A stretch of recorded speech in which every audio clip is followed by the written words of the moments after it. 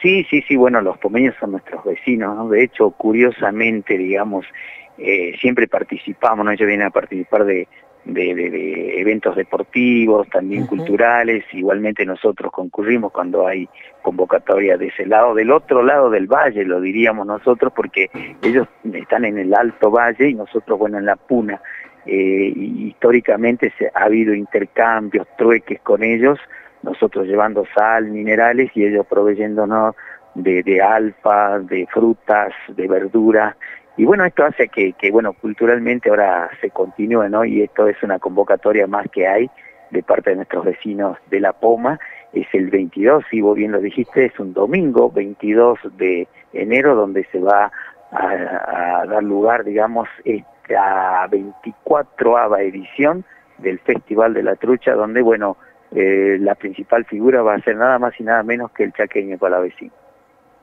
¿Qué figura, eh? ¿Qué figura la del chaqueño palavecino? Eh, la verdad que la que verdad bastante bien, ya 22 ediciones, ¿no? 22 ediciones. 24. 24. Y el 22 cuando se realicen Claro, 24 ediciones. ¿Y qué más? Este, me, interesó lo que me dijiste recién del este, el trueque, en la historia que se, viene, se venía haciendo. ¿Todavía continúan con esa práctica de hacer trueque? Eh, en menor medida, digamos, hay algunos que todavía, eh, quizás nuestros primos, algunos que están ahí. De hecho, eh, a mí particularmente, yo nací en un territorio pomeño, ¿no? Porque somos eh, vecinos y por eso le decía que si tienen a mano un, un, mapa de Salta y de los departamentos, es muy curiosa la división que hay entre el departamento Los Andes y el departamento La Poma, ¿no? Incluso ellos eh, la jurisdicción de ellos eh, abarca la parte nuestra y limita con Jujuy. Las salinas grandes, por ejemplo, pertenecen a la Poma, aunque a ustedes les parezca raro. Así que bueno, eso es muy curioso y que, que de hecho este pueblo, el pueblo de San Antonio de los Cobres, se ha formado en base, digamos, a mucha gente, familias de la Poma, y incluso acá tenemos un club que se llama así, ¿no? Club Deportivo Unión Pomense, que es uno de los eh, clubes que de, mayor antigüedad aquí en San Antonio de los Cobres. Este pueblo es joven, obviamente, ¿no? Se debe a, recordamos, a, principios del siglo del año, del, del, siglo pasado, perdón, con la gobernación de los Andes primero, la minería, y luego con el paso del ferrocarril, la construcción del ferrocarril primero, y luego con, con, con lo que fue, eh, digamos, el, los viajes en cuanto a, a lo a las cargas, a los pasajeros que iban y venían de Chile sobre todo, ¿no?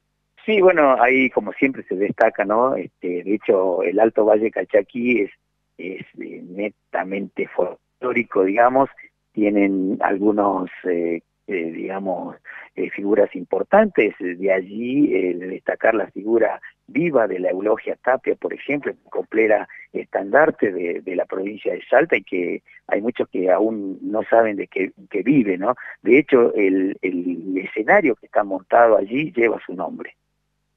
Ah, qué bien.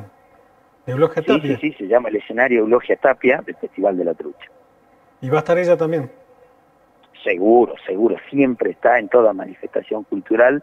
Aparte es la banderada, creo que tiene un cargo también en el centro de eh, jubilado y pensionado de la Poma, la vimos desfilar, digamos, en la, en la última fiesta patronal, la fiesta patronal de la Poma es el 4 de diciembre, ellos la hacen en honor a Santa Bárbara, que es la protectora de este lugar. Sí, exactamente, recordamos que la, la, la, municipalidad hace eh, digamos, tradicionalmente lo vienen haciendo. En los pueblos chicos, por ejemplo, sí, los llevan adelante ellos, ¿no? Porque, eh, bueno, no hay productoras artísticas que se vengan a hacer cargo, porque, bueno, son poblados chicos que, que, que para, eh, lo que dice el intendente es llevarle a su gente, acercarle figuras de renombre, y en este caso, bueno, va a ser, y vaya que renombre, ¿no? Como es el chaqueño palavecino, eh, a veces los municipios van a pérdida, digamos, entonces lo pueden hacer, y, y lo, eh, digamos, entonces tienen que llevar adelante todos los gastos, ¿no?